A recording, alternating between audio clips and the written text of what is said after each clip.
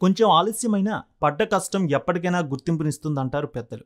సినిమాల్లో అయితే కష్టపడితే వరుస అవకాశాలు వస్తాయి. దీనికి ఉదాహరణగా నిలిచిన నటుడు సత్యదేవ్. మంచి పాత్ర దొరికితే చాలు నన్ను నేను నిరూపించుకోవాలి అనుకుంటూ నటించాడు. ఇప్పుడు వరుసగా పెద్ద పెద్ద సినిమాల్లో అవకాశాలు సంపాదించే స్థాయికి ఎదిగారాయన టాలీవుడ్లో టాలెంట్కు కేర్ ఆఫ్ అడ్రస్గా మారారు young hero Satyadev. Cinema industry ఎప్పుడూ టాలెంట్ ఉన్న వారిని ఎంకరేజ్ చేస్తుందనడానికి చాలామంది ఉదాహరణగా చూపించవచ్చు. వారిలో సత్యదేవ్ కూడా ఒకరు. పూరి జగన్నాథ్ దర్శకత్వంలో చార్మి ప్రధాన పాత్రలో నటించిన జ్యోతిలక్ష్మి సినిమాలో నటించిన సత్యదేవ్ ఎంతో పాపులర్ అయ్యారు. పూరి జగన్నాథ్ సినిమాలో చూపించిన విధానానికి ఈ యంగ్ హీరోకి మంచి గుర్తింపు వచ్చింది. ఆ తర్వాత పూరి దర్శకత్వంలోనే వచ్చిన ఇస్మార్ట్ శంకర్ సినిమా మరో స్థాయి గుర్తింపు తెచ్చింది.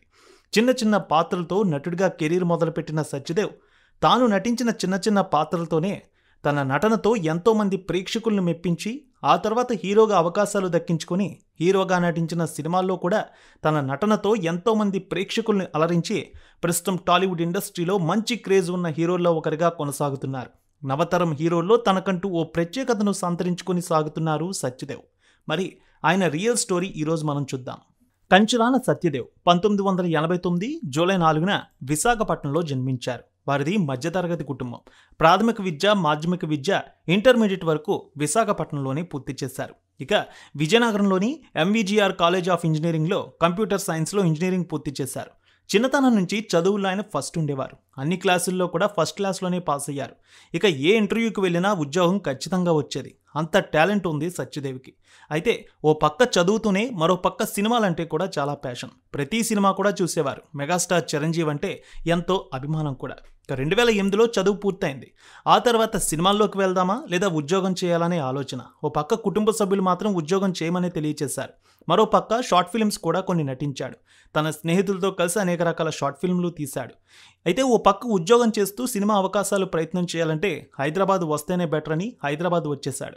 వచ్చిన వెంటనే సాఫ్ట్వేర్ కంపెనీలో ఉద్యోగం వచ్చింది. రెండు వేల తొమ్మిది నుంచి ఉద్యోగంలో చేరి అక్కడే సినిమా అవకాశాల కోసం అనేక ఆఫీసుల చుట్టూ తిరిగేవాడు. శని ఆదివారం కంపెనీకి సెలవు ఉండడంతో ఆ రెండు రోజులు ఉదయం నుంచి సాయంత్రం వరకు సినిమా ఆఫీసుల చుట్టూ తిరిగేవాడు. ఈ సమయంలోనే ఆయనకు ఋషి ప్రసాద్ అనే వ్యక్తి పరిచయం అయ్యారు. చాలామంది సినిమా వారికి పరిచయం చేశారు. ఈ సమయంలో దర్శకుడు దశరథ్ గారు ప్రభాస్తో మిస్టర్ పర్ఫెక్ట్ సినిమా చేస్తున్నారని తెలిసింది. అక్కడికి ఆడిషన్కి వెళ్ళాడు. అయితే ఆడిషన్ తీసుకున్న సమయంలో ఆయన నటన నచ్చింది. వెంటనే ప్రభాస్ ఫ్రెండ్ క్యారెక్టర్ ఇస్తున్నానని తెలియచేసి సినిమాలో ఆ క్యారెక్టర్ అయితే ఇచ్చారు. అలా మిస్టర్ పర్ఫెక్ట్తో తొలి అడుగులు వేశాడు సినిమా పరిశ్రమలో. తర్వాత హైదరాబాద్ నుంచి బెంగళూరు వెళ్ళిపోయాడు. ఎందుకంటే ఉద్యోగానికి అక్కడికి ట్రాన్స్ఫర్ అయింది. అక్కడే కొద్ది నెలలు ఉద్యోగం చేశాడు.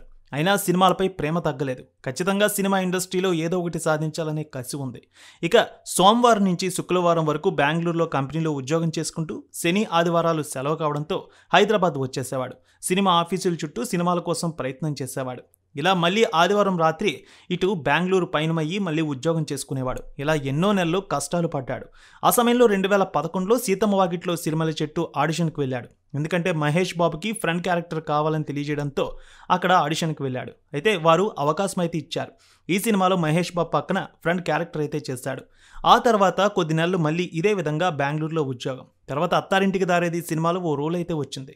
జస్ట్ మూడు రోజుల్లో ఈ షూటింగ్ కూడా పూర్తయింది. కానీ ఎడిటింగ్లో తీసేశారు. కానీ దర్శకుడు త్రివిక్రమ్ మాత్రం నీలో మంచి నటుడు ఉన్నాడని చాలా గొప్పవాడి అవుతామని కూడా ప్రశంసలు ఇచ్చారట. ఖచ్చితంగా అవకాశం ఉంటే పిలుస్తామని కూడా తెలియజేశారట. ఆ తర్వాత హిందీ సినిమా మైనే ప్యార్ కియాలో కూడా అవకాశం వచ్చింది. అందులో కూడా మెరిశారాయన ఆ తర్వాత ఆయనకి చెప్పుకోదగ్గ పాత్ర వరుణ్ తేజ్ ముకుంద సినిమాలో చైర్మన్ అనుచరుడిగా మంచి రోల్ వచ్చింది. అక్కడి నుంచి ఆయనకి కాస్త గుర్తింపు వచ్చిందనే చెప్పాలి. ఆ తర్వాత కొద్ది నెలలకి అసురా చిత్రంలో దయా పాత్ర చేశారు. అది కూడా ఆయనకు మంచి గుర్తింపును తీసుకువచ్చింది. ఇక ఆయన లైఫ్ తిరిగినటువంటి పాత్ర అంటే జ్యోతిలక్ష్మి సినిమా. పూరి జగన్నాథ్ జ్యోతిలక్ష్మి సినిమా కోసం ఆడిషన్స్ తీసుకుంటున్నారని తెలిసింది. అక్కడికి వెళ్ళాడు. కానీ అక్కడ జనాన్ని చూసి ఆశ్చర్యపోయాడు. ఎందుకంటే తనల అవకాశం కోసం సుమారు ఐదు వందల మంది వచ్చారు.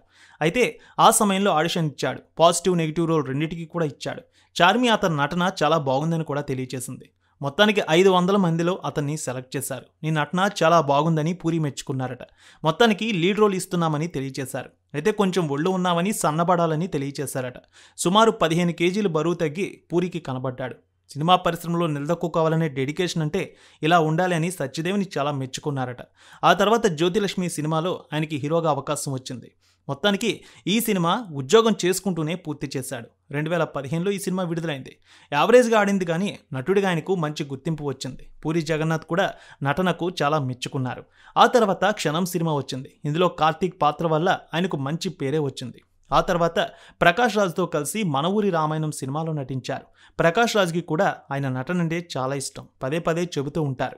ఇక ఈ సినిమాలో కూడా నటించిన తర్వాత అప్పట్లో ఒకడు ఉండేవాడు సినిమాలో అతిథి పాత్ర చేశారు. తర్వాత గాజీ సినిమాలోని ఇండియన్ సోనార్ ఆపరేటర్ పాత్రలో కీలకమైన రోల్ చేశారు. ఆ తర్వాత రోగ్ సినిమాలో అవకాశం ఇచ్చారు. అందులో అంజలి సోదరుడి పాత్ర అద్భుతంగా చేశారు. ఆ తర్వాత తక్స్ ఆఫ్ హిందుస్థాన్లో ఓ రోల్ అయితే చేశారు. ఇది కూడా మంచి పేరే తీసుకొచ్చింది ఆ తర్వాత ఆయనకు బ్లఫ్ మాస్టర్ సినిమా వచ్చింది. గోపి గణేష్ దర్శకుడు.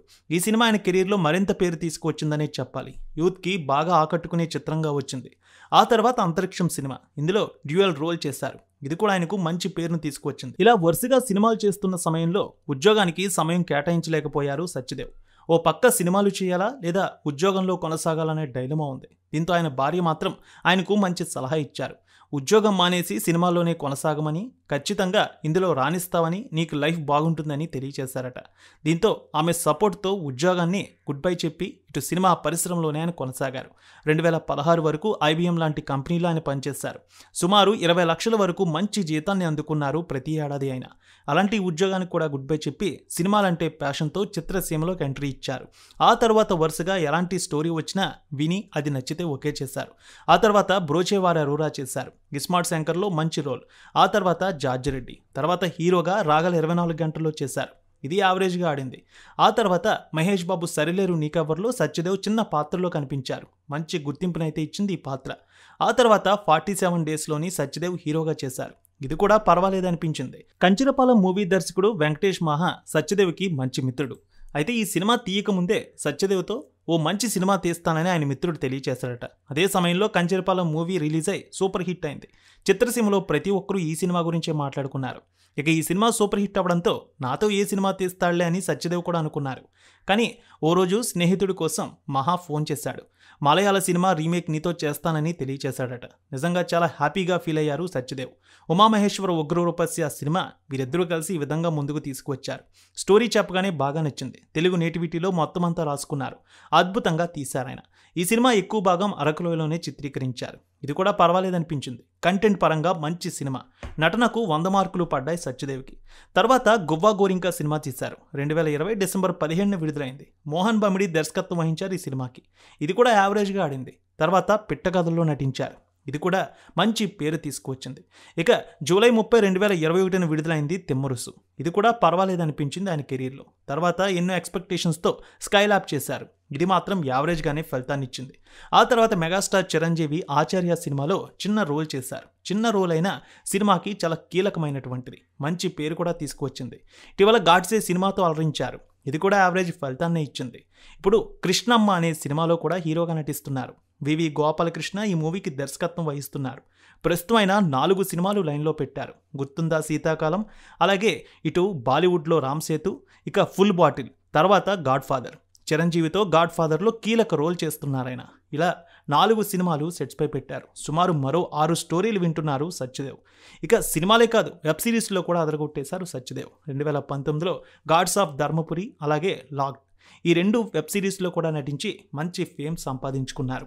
అమితాబ్ బచ్చన్ బుడ్డా హోగా తేరా బాప్ అనే సినిమా ద్వారా ఇప్పటికే సత్యదేవ్ బాలీవుడ్లో కూడా నటించారు. అయితే అది చాలా చిన్న పాత్ర. ఇప్పుడైతే అక్షయ్ కుమార్ రామ్ సేతుల అవకాశం కూడా సంపాదించుకున్నాడు. బాలీవుడ్లో తన సత్తా చాటేందుకు సిద్ధమవుతున్నాడు. సత్యదేవ్ హీరోగా నటించిన సినిమాల్లో బ్లఫ్ మాస్టర్ ఉమాపరమేశ్వర ఉగ్రరూపస్య సినిమాలు సత్యదేవ్కి నటుడిగా మంచి గుర్తింపును తీసుకువచ్చాయి.